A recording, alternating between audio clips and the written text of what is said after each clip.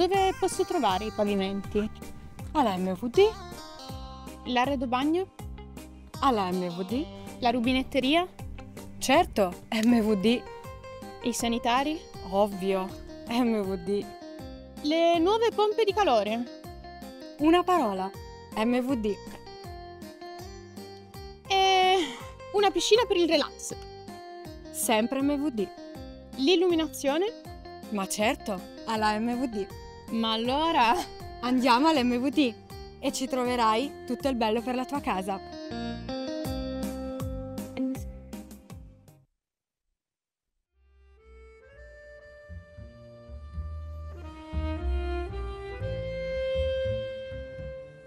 Accidenti, che buio! Fai luce! Cosa possiamo accendere? Fai luce anche tu!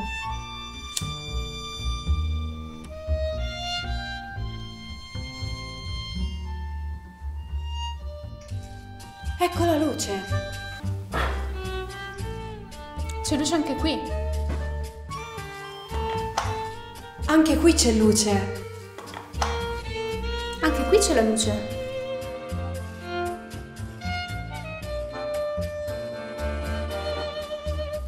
Noi abbiamo illuminato il nostro mondo. Tu puoi illuminare la tua casa. Vieni all'MVD!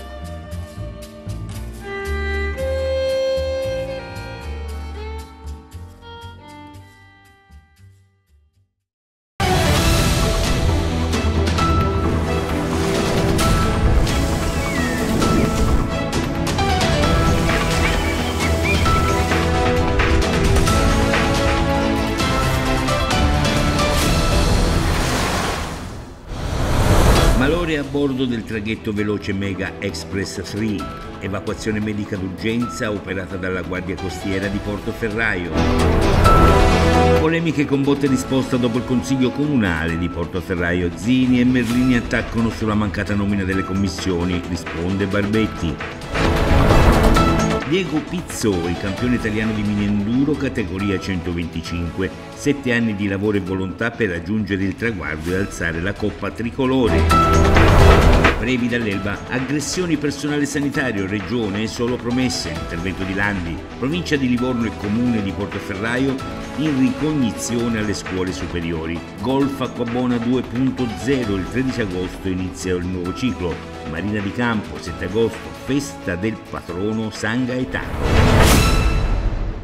Nel pomeriggio di giovedì 1 agosto la Guardia Costiera di Portoferraio è intervenuta per una richiesta di soccorso dalla nave passeggeri Mega Express 3 della Sardinia Ferris proveniente da Olbia e diretta a Livorno. La richiesta riguardava l'evacuazione medica di un turista italiano di 20 anni che necessitava di urgente ospedalizzazione quando il traghetto si trovava a circa 10 miglia da Marciana Marina.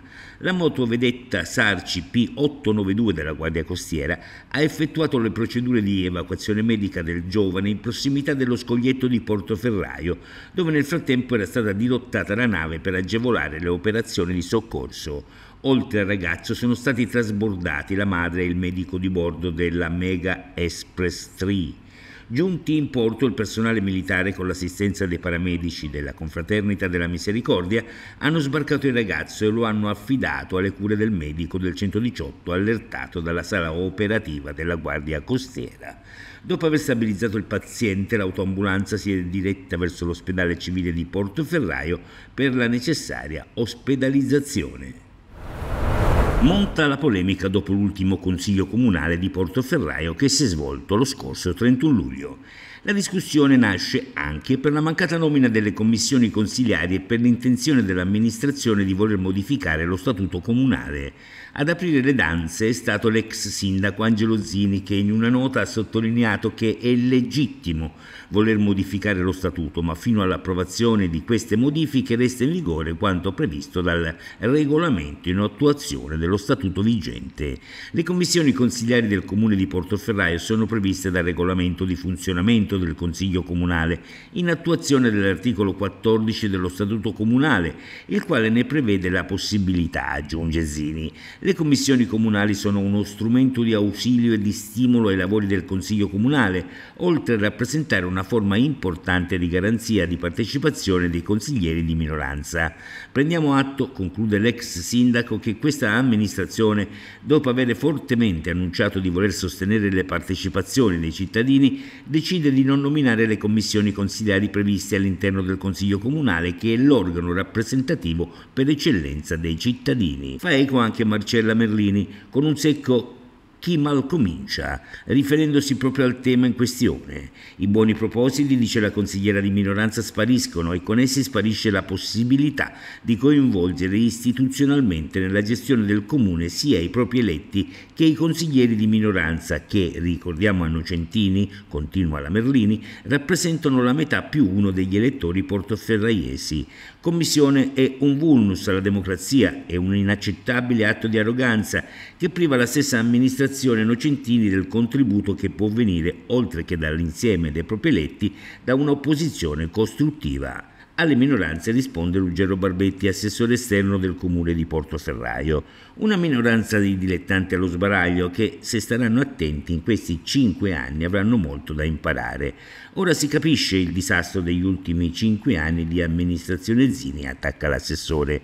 Questi non conoscono nemmeno l'ABC di cosa significhi governare un comune. Durante il Consiglio abbiamo detto che sì, dovrà modificare lo statuto per adeguarlo alle leggi che si sono succedute nel tempo dato che la sua approvazione risale addirittura al 2007, ma non abbiamo mai detto che vogliamo modificare l'articolo 14 che è perfetto così. Dimenticavo, conclude Barbetti, in 24 anni che sono stato sindaco di Capoliveri non è stata mai istituita una commissione consigliare, cosa che avviene tutt'oggi. Insomma, una rovente discussione dopo il Consiglio Comunale in un rovente luglio e agosto e siamo certi che non finirà qui. Dopo sette anni di lavoro, sacrificio e buona volontà, Diego Pizzoi, rider Elbano classe 2008, è riuscito a conquistare il suo primo campionato italiano, mini enduro categoria 125, in sella alla sua moto Beta 125 due tempi.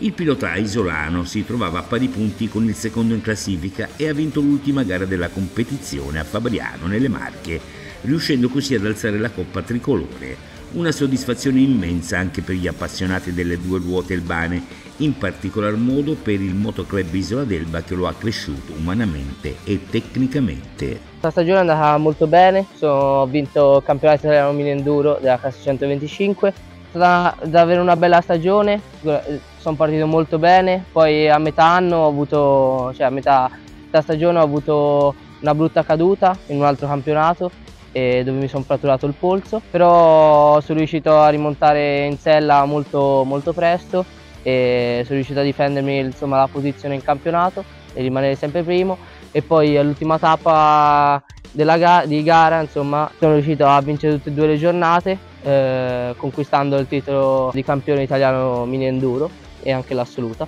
Ringrazio il Motoclub Madden Action Sport Team, MAST, eh, il team eh, Racing Gualdani e soprattutto il mio allenatore Fabio Perini che mi ha sempre seguito in tutte, in tutte le gare, poi soprattutto la mia famiglia che ormai dopo, dopo sette anni siamo riusciti insomma, a, a vincere questo titolo. Una stagione agonistica ardua e complessa che ha messo a dura prova le qualità di guida del pilota novellino Elmano tesserato con il motoclub fiorentino Must. La caduta è avvenuta nel cross test nella gara a Ceva, in Piemonte, nel mese di giugno.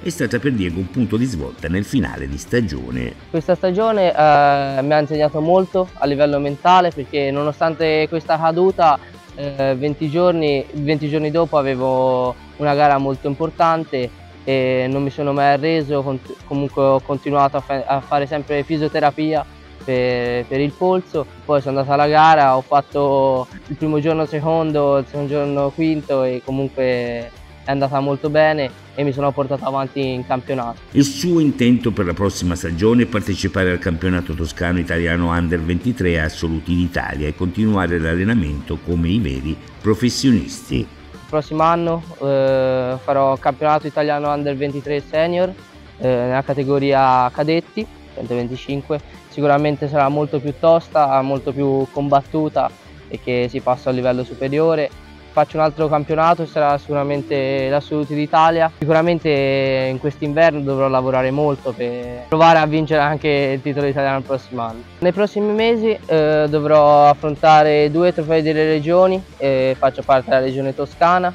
poi devo, dovrò fare anche l'ultima gara di campionato Under 23 Senior, dove sono terzo in campionato e poi l'ultima di campionato regionale toscano. Parole al vento quelle dell'assessore Bezzini sul rischio delle aggressioni al personale sanitario. Il 23 luglio un'infermiera del 118 in servizio all'Elba è stata colpita da un calcio da un uomo durante il soccorso non una parola di solidarietà da parte della ASREN e della Regione e, ancor più grave, il centro-sinistra in Consiglio regionale ha rifiutato di discutere una mia mozione che chiedeva l'automatica costituzione di parte civile dell'azienda e un rafforzamento delle misure per tutelare i medici e gli infermieri. Questi i fatti a loro le vuote promesse. Così il consigliere regionale della Lega Marco Landi, commentando le dichiarazioni rese dall'assessore regionale alla salute Simone Bezzini circa le iniziative della regione per contrastare il fenomeno delle aggressioni al personale sanitario. Nella mattinata di giovedì 1 agosto si è svolta a Portoferraio una ricognizione delle condizioni delle scuole secondarie in vista del prossimo anno scolastico. Presente la provincia di Livorno con la sua presidente Sandra Scarpellini, il vicepresidente Pietro Caputo e lo staff tecnico e il comune di Portoferraio con il sindaco Tiziano Nocentini, il vice sindaco e assessore ai lavori pubblici Claudio De Santi e il consigliere comunale Roberto Manzi.